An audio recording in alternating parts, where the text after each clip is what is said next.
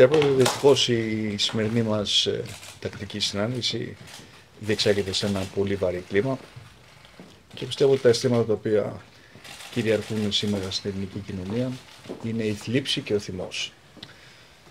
Είχαμε την ευκαιρία και οι δύο βρεθήκαμε από την πρώτη στιγμή στον τόπο του τραγικού δυστυχήματος και από τότε έχουν περάσει ε, αρκετές μέρες αλλά παρά τα αυτά πιστεύω ότι κάθε Έλληνας και κάθε Ελληνίδα ταυτιζόμαστε με τους συγκινήσεις των θυμάτων. Βλέπουμε ε, στα θύματα τα παιδιά μας, τους φίλους μας, τους συγγενείς μας και αυτό πιστεύω κάνει την, τη θλίψη τόσο έντονη. Ταυτόχρονα υπάρχει θυμός και δικαιολογημένος θυμός για ένα συμβάν το οποίο από την πρώτη στιγμή είπα ότι δεν έπρεπε να είχε συμβεί. Αναλαμβάνοντας έτσι ε, την ευθύνη που αναλογεί στην ε, κυβέρνηση ε, στη διάρκεια της θητείας της οποίας έγινε ε, αυτή η τραγωδία. Όμως όπως είπα και χθες στο Υπουργικό Συμβούλιο, ο χρόνος δεν μπορεί να γυρίσει πίσω και αυτό το οποίο οφείλουμε να κάνουμε είναι αφενός να διασφαλίσουμε στο βαθμό που αυτό αφορά την κυβέρνηση ότι η έρευνα για τα αίτια του δυστυχήματος θα γίνει με απόλυτη διαφάνεια και με τη μέγιστη δυνατή ταχύτητα για να αποδοθεί η δικαιοσύνη. Και σε αυτή την προσπάθεια δεν θα διστάσω να αξιοποιήσω και κάθε ευρωπαϊκή βοήθεια η οποία μπορεί να είναι διαθέσιμη. Έχω ήδη ζητήσει από την αρμόδια Ευρωπαϊκή Αρχή Σειροδρόμων ε, να εκπονήσει ένα άμεσα ένα πόρισμα για την ασφάλεια των σειροδρόμων μας με προτάσεις για το πώς μπορούμε να βελτιωθούμε και αυτό το πόρισμα να ε, είναι αμέσως δημόσιο από τη στιγμή που θα ολοκληρωθεί. Ε, από την άλλη, οφείλουμε να κάνουμε άμεσες εθνικές κινήσεις για να βελτιώσουμε το επίπεδο ασφάλειας των τρένων μας και σε αυτή την κατεύθυνση κινήθηκαν και οι χθεσινές μου εξαγγελίες. Τα τρένα να επαναλειτουργήσουν το στομότερο δυνατόν με τη μέγιστη δυνατή ασφάλεια, με δύο σταθμάρχε σε κάθε σταθμό και σε κάθε ε, βάρδια.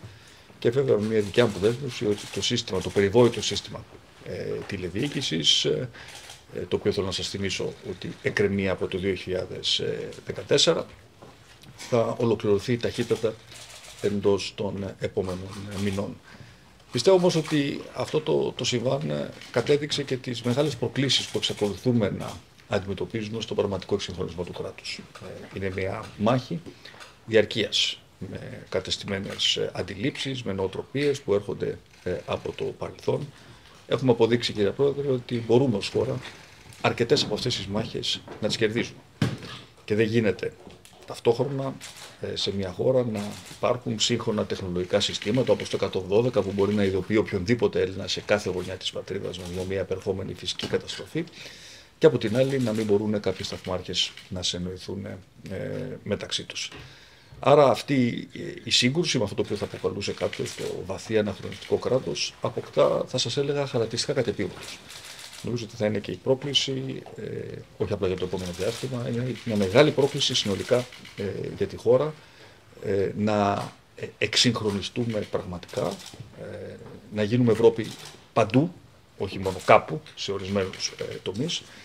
Και προσωπικά Ήμουν πάντα ταγμένο σε αυτή τη μάχη. Ξέρω ότι αυτή η μάχη έχει, ε, έχει και νίκες, έχει και πολύ σκληρές στιγμές όπως, ε, όπως αυτή και γι' αυτό θα συνεχίσω να αγωνίζομαι, αλλά προφανώς δεν είναι μια μοναχική ε, μάχη αυτή. Είναι μια μάχη που πιστεύω ότι κινητοποιεί πολλές υγιείς δυνάμεις ε, στην ελληνική κοινωνία και εντός του κρατικού ε, μηχανισμού που ζητούν ένα καλύτερο ε, κράτος με περισσότερη λογοδοσία, περισσότερη αποτελεσματικότητα, περισσότερη διαφάνεια, περισσότερη αξιοκρατία, περισσότερη αξιολόγηση ε, και για όλα αυτά θα συνεχίσω προσωπικά να βοηθήσω. Πρόεδρε, η χώρα βιώνει μια τραγωδία. Το τραύμα μας είναι ανοιχτό, συλλογικό και βαθύ. Δεν υπάρχουν λόγια που μπορούν να απαλύνουν τον πόνο για τις ζωές που χάθηκαν η κοινωνία μας πενθεί και θυμώνει και χάνει την εμπιστοσύνη της στους θεσμούς. Αυτόν τον θυμό, την οργή του κόσμου, πρέπει να μην τον ξεχάσουμε, να μην τον αποθήσουμε, αλλά να τον κάνουμε παραγωγικό. δεν νιώθουμε μόνο την ευθύνη, αλλά και την τροπή, θα έλεγα. Πρέπει να υπάρξει άμεση και πλήρης λογοδοσία προς κάθε κατεύθυνση και να διασφαλίσουμε όλοι μαζί και με όλες μας τις δυνάμεις ότι ποτέ ξανά δεν θα συμβεί μια τέτοια τραγωδία. Να ξεριζώσουμε τις παθογένειες, να αφήσουμε οριστικά πίσω μας τις όψεις μιας Ελλάδας που μας απομακρύνει και μας εκθέτει. Αυτό είναι χρέος απέναντι στις ζωές που χάθηκαν άδικα, αλλά και απέναντι στον τόπο μας.